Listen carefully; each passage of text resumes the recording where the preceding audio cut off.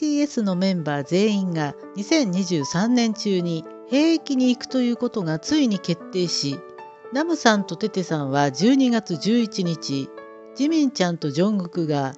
12月12日に訓練所に入るそうです。すでにジンさん、J ホープ大先生、シュガちゃんは入隊しており、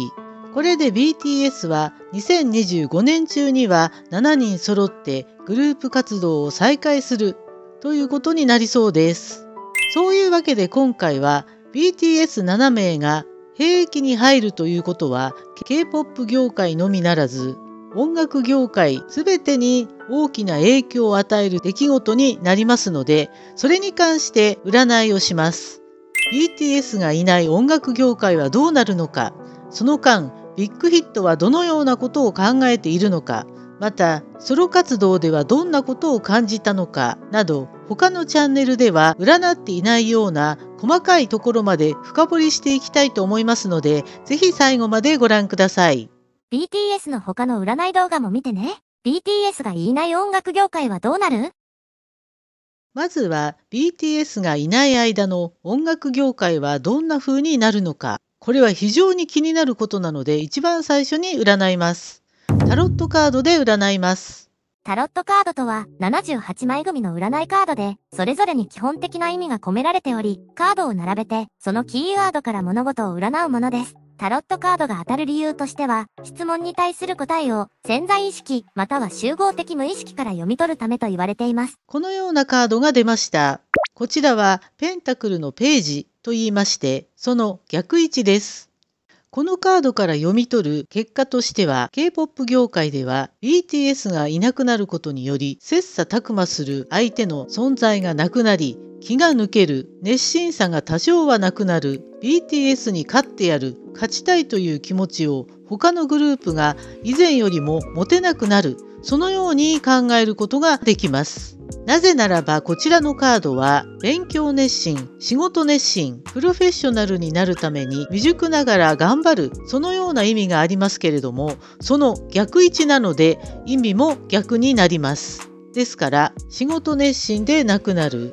視野が狭くなる勉強熱心でなくなるそのような意味となるでしょう。これを BTS がいない K-POP 業界どのような影響があるのかと考えると今まで他のグループは BTS に追いつけ追い越せという気持ちで活動してきたという部分があると思います。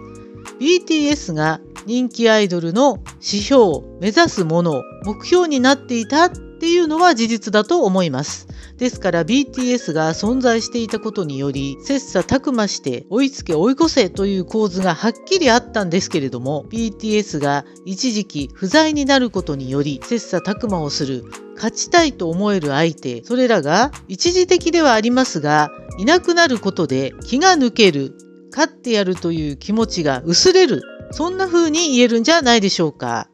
K-POP 業界で今までよりも少し盛り上がりが減るとも言えるかもしれません。そうは言っても BTS 以外にもたくさんの魅力あふれるアイドルグループがたくさんありますし、その方々の魅力がなくなるっていうことはもちろんありません。ですからファンの方々は何も心配する必要はないのですが大きな視野で K-POP 業界全体を見た場合大スターの存在が抜けてその分張り合いがなくなるっていうのはあるんじゃないでしょうか BTS がいない間のビッグヒットはどうなる？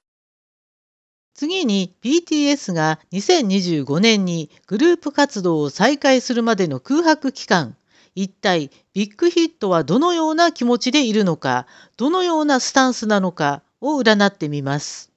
このようなカードが出ました。こちらはカップのクイーンというカードになります。このカードが逆位置ではなく正位置だった場合、献身的、愛情深い、家庭的、善良などという意味があるのですが、それが逆位置なので意味も逆になります。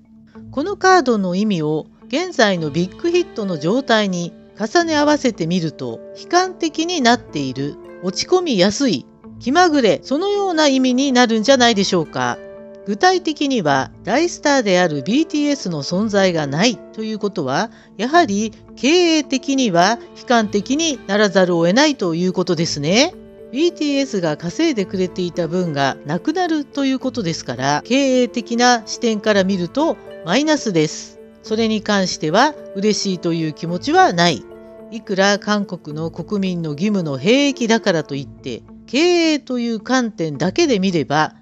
マイナスな出来事であることには変わりないと思います。もちろん今まで十分に BTS に稼いでもらい、潤っているという面もあるでしょうし、BTS 以外のビッグヒットミュージック、HYBE の所属のグループでも相当にすごい魅力的なグループはたくさんあります。特にセブンティーンは大賞を受賞しましたし、これからも期待できるとは思うんですけれども、それでも BTS の抜けた穴は大きい。BTS が抜けた穴をそっくりそのまま同じレベルで埋めることができるかというとなかなか難しいので悲観的な気持ちにもなっている。それにより多少周りを心配させることもあるかもしれない。そのように言えるんじゃないでしょうか。長い間会社を経営していればいつも順風満帆な時ばかりではなくどんな会社でも大変な時期や追い詰められる時期はあります。ハイブ、ビッグヒットミュージックに関しては、これからがその時期になるので、なんとか乗り切っていくことが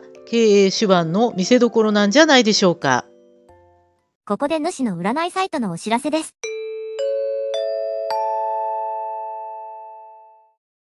ジョングクはソロ活動中に何を思った？次は BTS のメンバーのソロ活動について占いをします。ジョングクなんですけれども、ジョングクはソロ活動で大成功を収めたと言ってもよく、BTS としてもすごい、ソロとしてもすごいという結果になりましたが、ソロミュージシャンとして活動していると、BTS が本当に恋しくなる時期があったと、孤独を感じたというふうにも言っています。しかしその分、2025年の BTS の活動再開はきっと素晴らしいものになるとそのように同時に話しています。これは彼の本心だとは思いますけれども、ソロ活動に対して公に語ったこと以外の本心、ジョングクの本心は一体どういうものなのか、タロットカードで占ってみます。このようなカードが出ました。ソードの3というカードになりますが、見るからに悲しそうな絵柄ですね。ハートの中に3本刀が刺さっており、雨が降っています。それの逆位置ですから、悲しみは相当深かった。悲しいだけではなくて、精神的にもかなり追い詰められた。そのように言えるんじゃないでしょうか。ですから、ジョングクがこのインタビューで答えた通り、本当に孤独を感じて寂しくて寂しくて仕方がなく7人一緒に活動していた時が恋しくて仕方がなかったって言ってもいいくらいだと思います。心が乱されて普通の精神状態ではない物事を冷静に判断することが難しくなる心が激しく動揺する何も手につかないとそれぐらいの勢いの悲しみの状況そして精神的に追い詰められる状況があったんじゃないでしょうか。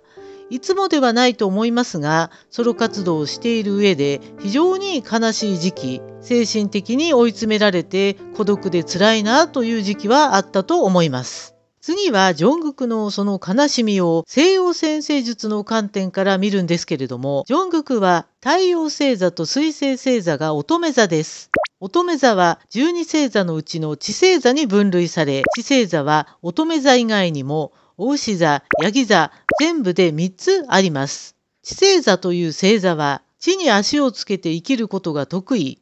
物事を継続して着実にこなしていくのが得意な星座なので、一度慣れてしまえば物事に上手に対応することができるんですけれども、慣れるまでは変化に対応するのがちょっと苦手、移り変わる物事に次々と対応していくのが少し不得意と、そういう傾向もあります。ですから、ジョングクは長い期間の7人での活動と今回突然ソロ活動で1人になってしまった活動では非常に戸惑いを覚えたんじゃないでしょうか。そしてこのソロ活動もこれからもずっと続けていくのであれば慣れてしまってこういうもんなんだと一人の活動というのも慣れれば楽しいなと思えたと思うんですけれども、ソロ活動に慣れる前に終了してしまうと、今回はそのような状況だったんじゃないでしょうか。このジョングクの変化は総合的に見ればとってもいいことだと思いますね。今までは7人一緒にいて人間ですから鬱陶しいな一人になりたいなグループ活動めんどくさいなって思う時もあったと思うんですが今回一人になってみて7人でいるありがたみというのを心底感じ感謝の気持ちが生まれたんじゃないでしょうか。ナムさんの本音は一体？ナムさんが入隊発表後に SNS を更新しいっぱい笑おうとこのように写真付きで投稿したそうです。私はこの写真を見てこれを投稿した時のナムさんの本心本当の気持ちを知りたいなと思いました。皆様の中にも知りたいという方がいると思いますので今度はこれを占ってみます。まずタロットカードで占う前に西洋先生術で鑑定してみたんですけれどもナムさんは太陽星座が乙女座ということで基本的に性格が真面目です。乙女座の方は全員ではありませんが奇想天外なことや常識外れなことはせず基本的にきちんとしていて真面目な方が多いです。ナムさんもそうですね。真面目でなければ兵役にいつ行くか決まってもいないのにすでに頭を坊主にしたり今回の写真のようにいっぱい笑おうとあえて前向きなポジティブな発言などはしませんね。もうそこからしてきちんとしていてルールを守る真面目な社会人の乙女座というのが出ているなと思いました。今度はタロットカードでナムさんの本心を占ってみます。このようなカードが出ました。こちらは吊るされた男の聖一です。この意味としては試練という意味がありますが、試練と言ってもマイナスな意味の試練だけではありません。試練なんですけれども、ポジティブな意味が含まれています。まさに現在のナムさんの状況をぴったり表しているカードだなとびっくりしましたね。タロットカードは隠していても本人の気持ちを表してしまうことが多いです。具体的な意味としてはナムさんはこれから兵役に入るにあたりそれは簡単なことではなく試練だと思っている。ただこの試練は将来的に報われる試練そして忍耐でもありこの試練を経験することによって自分はさらに成長できるそしてこの試練を乗り越えた時の充実感は何者にも代え難い素晴らしいものであり深い達成感を得るとそのように心の中で思っているんじゃないでしょうか。ですから試練と言ってもネガティブな気持ちで、はあ、試練に立ち向かわないといけないと思っているのではなく、これから試練に立ち向かっていくけれども、やるぞと、そんなポジティブな気持ちの方が強いっていうことですね。ですから、いっぱい笑おうと、そんな言葉が自然と出たんじゃないでしょうか。ただ、この言葉には、笑わないといけない、笑いたいと、自分を勇気づける意味が含まれており、ただ楽しいから笑うと、そういうものではないですね。